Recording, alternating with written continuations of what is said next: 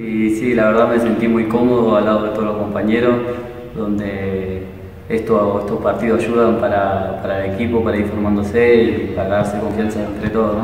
Y la verdad que sí, es un gusto muy, muy lindo donde tenés que hacer goles y si lo haces lo viví más. Y la verdad estoy contento y, y, me siento cómodo, la verdad que es un grupo muy bueno y, y eso ayuda. mi objetivo es llegar a debutar en el club, estoy de chico y, y nada, acá seguir estando y seguir mejorando.